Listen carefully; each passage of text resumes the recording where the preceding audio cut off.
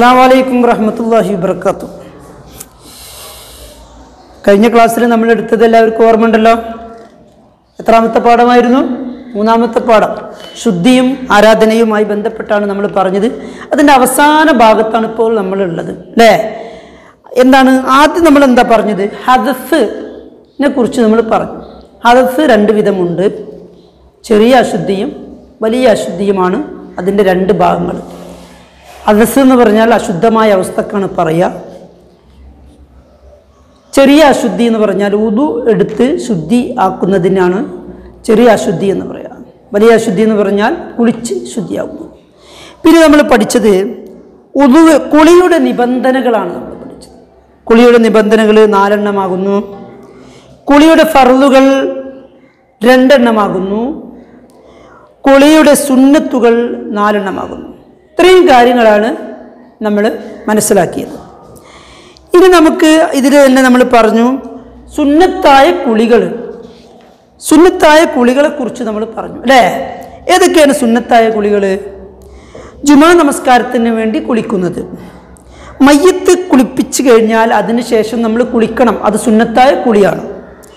ഹജ്ജിനും ഉമ്രക്കും വേണ്ടി ഹറമിൽ പ്രവേശിക്കുമ്പോൾ ഇഹ്റാമിൽ കെട്ടുന്നതിന് മുമ്പ് ഇഹ്റാമിൽ പ്രവേശിക്കുന്നതിന് മുമ്പ് നമ്മൾ കുളിക്കണം. അത് സുന്നത്തായ കുളിയാണ്. മക്കയിൽ പ്രവേശിക്കുന്നതിന് മുമ്പ് നമ്മൾ കുളിക്കണം. അറഫയിൽ നിൽക്കുന്നതിന് മുമ്പ് നമ്മൾ കുളിക്കണം. അതുപോലെ തന്നെ പെരുന്നാൾ രണ്ട് പെരുന്നാൾ സമയങ്ങളിലും നമ്മൾ കുളിക്കണം. അതൊക്കെ സുന്നത്തായ കുളികളിൽ പെട്ടതാണ്. പിന്നെ നമ്മൾ അത് മനസ്സിലാക്കിയത് പിന്നത്തെ കാര്യം ഉതു നഷ്ടപ്പെടുമ്പോൾ എന്തെല്ലാം? ഉതു ചിലപ്പോൾ നമുക്ക് നഷ്ടപ്പെടും. ആ നഷ്ടപ്പെടുമ്പോൾ എന്തെല്ലാം കാര്യങ്ങൾ ശ്രദ്ധിക്കണം എന്നാണ്. അത് അഞ്ച് കാര്യങ്ങളാണ് അതിലുള്ളത്. ഇതൊക്കെ പാഠഭാഗത്തുണ്ട്. ആ പാഠഭാഗത്തുള്ള കാര്യങ്ങൾ നന്നായിട്ട് വായിക്കണം പഠിക്കണം. അത് ഞാൻ വീണ്ടും ഇവിടെ ആവർത്തിക്കുന്നില്ല. പറഞ്ഞു പോവുകയാണ് ചെയ്യുന്നത്.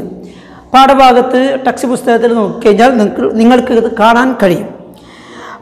പിന്നെ പാദരക്ഷ തടവുന്നതുമായി ബന്ധപ്പെട്ട് നമ്മുടെ പാഠത്തിൽ പറയുന്നുണ്ട് അല്ലേ? ഒരിക്കൽ ഒതെടുക്കുമ്പോൾ പാദരക്ഷ തടവാൻ വേണ്ടി സോക്സ് ധരിച്ചു കഴിഞ്ഞാൽ വീണ്ടും അത് അയക്കണമെന്നില്ല അതിന്റെ മുകളിൽ തടവിയാൽ മതി. പിന്നെ ഒതു എടുക്കുന്നതിന്റെ മഹത്വത്തെക്കുറിച്ച് നബി സല്ലല്ലാഹു അലൈഹി വസ്ലം പറഞ്ഞത് എന്താ അത് നമ്മൾ പഠിച്ചിട്ടുണ്ട്. കിയാമത്ത് നാളിൽ എൻ മുഖവും കൈകാലുകളും ഒതു എടുക്കുന്നതിന്റെ ഫലമായി വെളുത്ത് പ്രക്ഷോഭിക്കുന്നവരായി കാണപ്പെടും പരലോകത്ത്. ഇതും നമ്മൾ കഴിഞ്ഞ ക്ലാസ്സിലൊക്കെ പഠിച്ചതാണ്. ഇനി ഉതു എടുക്കുന്നതിന്റെ ഉതുവിന്റെ ഫറലുകൾ എത്ര എണ്ണമാണ് ആറെണ്ണമാണ്. ഇതാണ് കഴിഞ്ഞ ക്ലാസ്സിൽ നാം പഠിച്ചത്. മറ്റതൊക്കെ അതൊക്കെ അതിന്റെ മുന്നത്തെ പാഠത്തിൽ മുന്നത്തെ ക്ലാസ്സിൽ പഠിച്ച കാര്യങ്ങളാണ്. ഒതുവിന്റെ ഫറുതുകൾ എത്ര എണ്ണമാകുന്നു ആറെണ്ണമാകുന്നു. ഓർമ്മയുണ്ടല്ലോ എല്ലാവർക്കും? അതാണ് ഒതുവിന്റെ ഫറുതുകൾ ആറെണ്ണം. ഉതുവിന്റെ സുന്നത്തുകൾ പതിനൊന്നെണ്ണമാണെന്നും നമ്മൾ പഠിച്ചു. ഉതുവിന്റെ സുന്നത്തുകൾ പതിനൊന്നെണ്ണമാണ്. അപ്പോൾ ഒതു എടുക്കുമ്പോൾ നമ്മൾ ഫറുതും സുന്നത്തും ഒക്കെ ഒരുമിച്ചാണ് ചെയ്യുന്നത് അല്ലേ? എല്ലാവർക്കും അറിയാം ഫറൽ മാത്രം ചെയ്യൂല അല്ലെങ്കിൽ സുന്നത്ത് മാത്രം ചെയ്യൂല. ഫറൽ മാത്രം ചെയ്താൽ നം ഉതു ശരിയാകും പക്ഷേ ഫറന്ന് മാത്രം ചെയ്യുന്നത് കൊണ്ട് അതിന്റെ പൂർണ രൂപം കിട്ടിക്കൊള്ളും എന്നില്ല. നമുക്ക് അത് പൂർണമായിട്ടും തൃപ്തിയാവണമെങ്കിൽ ഉളുവിന്റെ ഫർദുകളും സുന്നത്തുകളും ഒന്നിച്ച് ഒരുമിച്ച് അത് നമ്മൾ ചെയ്യേണ്ടതാണ് എന്ന് നാം മനസ്സിലാക്കണം. ഇനി ഇരുപത്തൊന്നാമത്തെ പേജിൽ ചർച്ച ചെയ്യാം കണ്ടെത്താം എന്നൊരു ഒരു ചെറിയ ഒരു ഓപ്ഷനുണ്ട് എന്താണത്? ജാബിർ എന്ന് പറയുന്ന കുട്ടി ഉണ്ടായ ഒരു അനുഭവം. ഉതു എടുക്കുമ്പോഴും കുളിക്കുമ്പോഴും ധാരാളം വെള്ളം ഉപയോഗിക്കുന്ന ഒരു ശീലമുണ്ട് ജാബിറിന്. നമ്മളൊക്കെ ടൂറ് പോവാറുണ്ട് അല്ലേ? ടൂറ് പോവാറുണ്ട്. അല്ലെങ്കിൽ പുഴ വക്കിലും പുഴയോരത്തും കടൽ കാണാനും ഒക്കെ പോവാറുള്ള ആളുകളാണ്. അവിടെയൊക്കെ ഒരുപാട് നമ്മൾ ഇതൊക്കെ കാണാൻ വേണ്ടി പോകണം. അള്ളാഹുവിന്റെ അനുഗ്രഹങ്ങളൊക്കെ തേടി അന്വേഷിച്ചുകൊണ്ട് പല ഭാഗത്തും നമ്മൾ പോകണം എന്നാണ് പറയുന്നത്. അപ്പോൾ അവിടെ ചെന്നിട്ട് നമ്മൾ നമസ്കാരത്തിന് സമയമായി എന്ന് വിചാരിക്കുക. ടൂർ പോകുന്ന സമയങ്ങളിൽ. ഉതുവിന്റെ സമയമായി നമസ്കാരത്തിന് സമയമായി ഉതു എടുക്കാൻ ഉദ്ദേശിച്ചുകൊണ്ട് ഉതു എടുക്കാൻ പോകുമ്പോൾ ഇപ്പോൾ പുഴയാണല്ലോ കടലാണല്ലോ വെള്ളം നന്നായിട്ട് ഒഴുകി ഇങ്ങനെ പോകുന്നുണ്ട്. ധാരാളം വെള്ളം അങ്ങനെ കുത്തി ഒലിച്ചിങ്ങനെ പോവുക. നല്ലോണം വെള്ളമുണ്ട്. അപ്പോൾ അതുകൊണ്ട് നമ്മൾ ഉതെടുക്കുമ്പോൾ വെള്ളം അമിതമായി ഉപയോഗിക്കുന്ന ഒരവസ്ഥ ഒരിക്കലും ഉണ്ടാവരുത് എന്നാണ് പറഞ്ഞത്. നബി സല്ലല്ലാഹു അലൈഹി വസല്ലം ആ കാര്യത്തിൽ പറഞ്ഞത് ഒഴുകുന്ന പുഴയിലാണെങ്കിലും കടലിലാണെങ്കിലും നിങ്ങൾ ഒതുവെടുക്കുമ്പോൾ പോലും വെള്ളം മിതമായ രൂപത്തിൽ ഉപയോഗിക്കണമെന്നാണ് പറഞ്ഞത്. അമിതമായി വെള്ളം ഉപയോഗിക്കരുത്. അത് എത്ര വലിയ ഒത്തൊഴുക്കുള്ള പുഴയിലാണെങ്കിലും ശരി. അപ്പോൾ ഈ ഒരു ശീലം ആർക്കും ഉണ്ടാവരുത്. നമ്മുടെ വീട്ടിലാണെങ്കിലും വെള്ളം ആവശ്യമില്ലാതെ കളയുക. ഒതുവെടുക്കാൻ നമുക്ക് എത്ര വെള്ളം വേണം? എത്ര വെള്ളം വേണം നമുക്ക് ഒതുവെടുക്കാൻ അത്രയും വെള്ളം ഉപയോഗിച്ച് മാത്രമേ നമ്മൾ അത് ഉപയോഗിക്കാൻ പാടുള്ളൂ. ആ വെള്ളം കളയാൻ പാടുള്ളൂ. അതിൽ കൂടുതലായിട്ട് വീട്ടിലാണെങ്കിലും അതുപോലെ തന്നെ മറ്റുള്ള സ്ഥലങ്ങളിലാണെങ്കിലും വെള്ളം കൂടുതൽ ഉപയോഗിച്ചുകൊണ്ട് വെള്ളം അനാവശ്യമായി കളഞ്ഞുകൊണ്ടുള്ള ഒരു ശീലം ഒരു കാരണവശാലും നമുക്കാർക്കും ഉണ്ടാകാൻ പാടുള്ളതല്ല. അത് പ്രവാചകൻ പഠിപ്പിച്ച വളരെ പ്രത്യേകമായി പറഞ്ഞ ഒരു കാര്യമാണ്. ഇനി അടുത്ത പേജ് മറിച്ച് നോക്കിക്കഴിഞ്ഞാൽ ഇരുപത്തിരണ്ടാമത്തെ പേജിൽ റഫീഖ് നോട്ട് പുസ്തകത്തിൽ ഉദുവിന്റെ ഫറലുകളും സുന്നത്തുകളും ഒക്കെ ഒരുമിച്ച് അങ്ങോട്ടും ഇങ്ങോട്ടും ഒക്കെ തെറ്റിയിട്ടാണ് എഴുതിയിട്ടുള്ളത്. അത് തിരുത്തി നമ്മൾ എന്ത് ചെയ്യണം? ഉദുവിന്റെ ഫർദുകൾ വേറെ ഉദുവിന്റെ നീയത്തുകൾ വേറെ ആക്കി എഴുതാൻ വേണ്ടി ശ്രമിക്കണം. ഇത് അതുമാ അതുമായി അതുമായിട്ട് ബന്ധപ്പെട്ട് ഇതിൽ പൂർണമായിട്ടും ഇല്ല. ആ റഫീഖ് എഴുതിയതിൽ ഉദുവിന്റെ ഫർദുകൾ അത് കുറച്ചുള്ളൂ സുന്നത്തുകൾ കുറച്ചുള്ളൂ. അപ്പോൾ അത് വേറെ വേറെ തന്നെ എന്ത് ചെയ്യണം? നന്നായിട്ട് എല്ലതും ഉൾപ്പെടുത്തിക്കൊണ്ട് എഴുതാൻ നമ്മൾ ശ്രമിക്കണം. അത് നമ്മൾ കഴിഞ്ഞ ക്ലാസ്സിൽ പഠിച്ചതാണ്. ടെക്സ്റ്റ് പുസ്തകത്തിന്റെ ഇരുപത്ത ഇരുപതാമത്തെ പേജിൽ അത് കാണാൻ കഴിയും. പിന്നെ ശരിയല്ലെങ്കിൽ തിരുത്തി എഴുതാം എന്നതാണ്. അവസാനത്തെ ഭാഗം ശരിയല്ലെങ്കിൽ തിരുത്തി എഴുതാം. എന്താണ് ഒന്നാമത്തത്? നമസ്കാരം ശരിയാവാൻ ഉതു നിർബന്ധമല്ല എന്നാണ് പറഞ്ഞത്. നമസ്കാരം ശരിയാവാൻ ഉതു നിർബന്ധമല്ല എന്ന് പറഞ്ഞത് തെറ്റാണ്. അപ്പൊ ശരിയും തെറ്റും എന്ന് മാത്രം എഴുതിയാൽ പോരാ. പിന്നെ എന്ത് ചെയ്യണം? തെറ്റാണെങ്കിൽ അത് തിരുത്തി എഴുതണം എന്നും കൂടിയാണ് ഇതിൽ പറയുന്നത്. നമസ്കാരം ശരിയാവാൻ ഉതു നിർബന്ധമല്ല എന്ന് പറയുമ്പോൾ ഉതു നിർബന്ധമാണ് എന്ന് നമ്മൾ എഴുതണം. നമസ്കാരം ശരിയാവാൻ ഉതു നിർബന്ധമാണ്. പിന്നെന്താ രണ്ടാമത്തത്? ശരീരം ശുദ്ധി ഉണ്ടെങ്കിൽ ഉതു വേണമെന്നില്ല. അതും തെറ്റാണ്.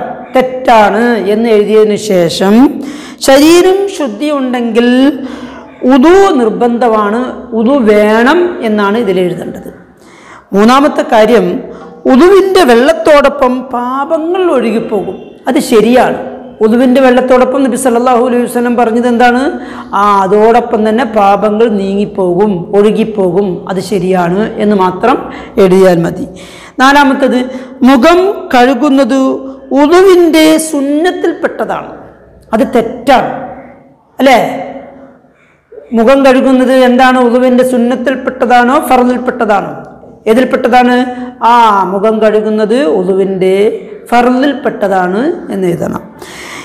അഞ്ചാമത്തത് തല തടവുന്നത് ഉതുവിന്റെ ഫർലുകളിൽ പെട്ടതാണ് ശരിയാണ്. അത് ഫർലാണ്. തല തടവുന്നത് എന്താണ്? ഫർലാണ്. ആറാമത്തത് ക്രമം തെറ്റാതെ ചെയ്യുന്നതിന് നിയ്യത്ത് എന്നാണ് പറയുന്നത്. തെറ്റാണത്. ക്രമം തെറ്റാതെ ചെയ്യുന്നതിന് അറബിയിൽ പറയുന്ന പേര് നിയ്യത്ത് എന്നല്ല. പിന്നെ എന്താണ് തെർത്തീബ് എന്നാണ്. അല്ലേ? ക്രമം തെറ്റാതെ ചെയ്യുന്നതിന് അറബിയിൽ പറയുന്ന പേരെന്താണ്? തെർത്തീബ് എന്ന് നാം മനസ്സിലാക്കണം. എന്താണ്? തെർത്തീബ്. ഏഴാമത്തത് ഉതുവിലെ ഉതുവിലെ പ്രവർത്തനങ്ങൾ മൂന്ന് പ്രാവശ്യം വീതം ചെയ്യുന്നത് സുന്നത്താണ്. ഉതുവിലെ പ്രവർത്തനങ്ങൾ മൂന്ന് പ്രാവശ്യം വീതം ചെയ്യുന്നത് സുന്നത്താണ്. അത് ശരിയാണ്. അതെന്താണ്? മൂന്ന് പ്രാവശ്യം ചെയ്യുന്നത് എന്താണ്? സുന്നത്തായ കാര്യമാണ്. എട്ടാമത്തത് വലത്തേത് ആദ്യം കഴുകുന്നത് ഉളുവിന്റെ ഫറലുകളിൽപ്പെട്ടതാണ്. വലത്തേത് ആദ്യം കഴുകുന്നത് ഉളുവിന്റെ ഫറലുകൾപ്പെട്ടതാണ് എന്ന് പറഞ്ഞാൽ എന്താണ്? അത് തെറ്റാണ്. ഉളുവിന്റെ പിന്നെ എന്താണ് അത് സുന്നത്തുകളിൽപ്പെട്ടതാണ്.